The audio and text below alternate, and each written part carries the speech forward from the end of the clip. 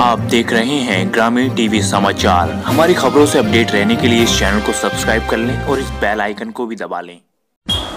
जनपद बुलंदशहर के रामघाट में गौशाला होने के बाद भी खुले में घूम रहे हैं आरा गोवंश। नहीं है इस ओर किसी का ध्यान। आवारा घूम रहे गोवंशों ने किसानों की फ़सल की चौपट किसानों में रोष व्याप्त ग्रामीणों ने एसडीएम से जाँच कराने की की मांग। क्या नाम है आपका? निधि शर्मा। जी ये खुले में गाय घूम रही हैं? इस संबंध में कुछ कहना आपका? हाँ भैया कहना है। हम्म, तो यहाँ पे अस्थायी अ, क्या नाम गौशाला बनी हुई है जिसमें पहले बत्तीस तैतीस गायें थी। जब कोई अधिकारी आता है तो पूर्ति नई छल्लों से डाल देते हैं बाकी छल्ले वाली बाहर ही घूमे हैं। उसके बाद वो रात में और दिन में आवारा हैं किसानों को भी नुकसानदायक है और हम रास्ते में खड़ी हो जाए तो भागने दौड़ने को परेशान। है तुम देख भी रहे हो छल्ले वाली गाय हैं।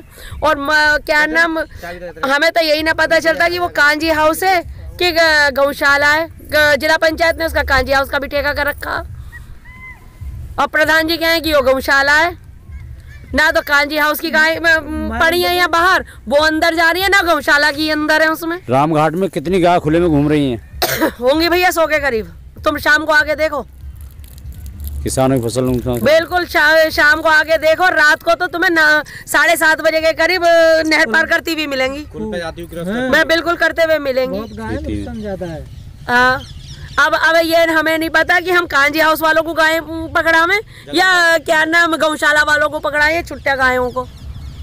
कहीं कहीं शिकायत करिए संबंध में। भैया शिकायत किन से करें?